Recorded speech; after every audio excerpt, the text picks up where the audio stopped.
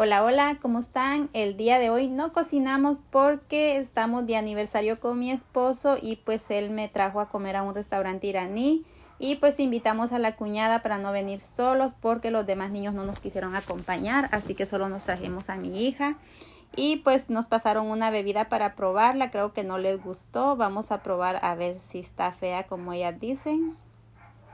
La verdad, no está buena, no me gustó.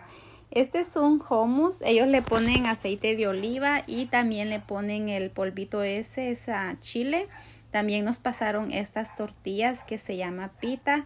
A mí lo que me gusta hacer es un taquito. Le pongo el hummus en medio y ya lo enrollo y me lo como como un taquito. Queda buenísimo pues acá ya todos desesperados porque la comida no llegaba, pero luego luego nos pasaron la comida y no, pues a todos les cambió el semblante, ya todos miren a la cuñada bien feliz que se miraba ya con su gran plato de, de pollo que pidió. La niña igual, la niña ya estaba enojada porque no le pasaban rápido la comida y pues aquí ya le cambió la cara donde vio su gran plato. Acá está el mío. Yo pedí arroz verde con arroz blanco y amarillo. Vamos a probar a ver si así como se mira de bueno está está buenísimo, la verdad, muy bueno. Este arroz tiene una planta que se llama dill. Los iraníes la usan mucho en el arroz y queda un sabor tan delicioso. Me gusta mucho el arroz de ellos. Más si tiene esta planta porque yo soy muy fanática a todo lo que son plantas verdes, lo que es perejil, cilantro, el dill, todo eso a mí me gusta usarlo mucho. Em, así como les dije, yo me como el hummus como hago un taquito con la y queda súper delicioso. Esto yo no sé cómo se llame.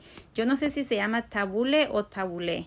Lo que sí sé es que está hecho con mucho perejil, también tiene la quinoa, tomate, cebolla y el aceite de oliva.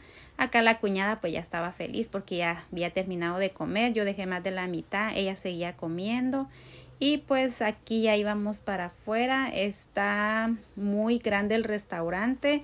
Nos tocó que caminar en medio de todas estas personas porque toda esta área es el área del patio. La verdad es grande el restaurante. Nos tocó que esperar dos horas para poder entrar. Aquí es el área del patio. A nosotros nos tocó que comer en el área de adentro, o sea, como en un salón súper grande donde estaba muy lleno también. Y pues acá la cuñada, miren, haciendo mi ojitos marisol, vamos al café. Siempre las malas influencias, ¿verdad? Porque me trajo a este café donde venden unas delicias de, de postres. Y pues la verdad disfrutamos la noche, todo muy bonito. tomando nuestro matcha, la verdad ah, yo soy muy fanática al matcha y pues no me podía faltar en esta cena en especial. Bye bye.